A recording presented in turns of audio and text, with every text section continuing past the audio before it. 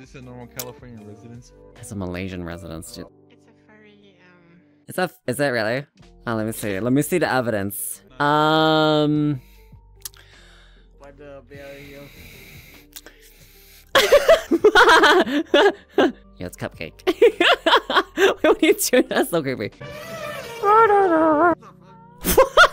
Why would like who's speaking around a car? Who the fuck? Wait, what are you doing? Send help. It's always interesting going to a world that's like of like another ethnicity like that or created from around the world like that too. I assume they built their neighborhood like that or just somewhere resembling their home. So it's a home in Malaysia, I guess. But it's pretty nice.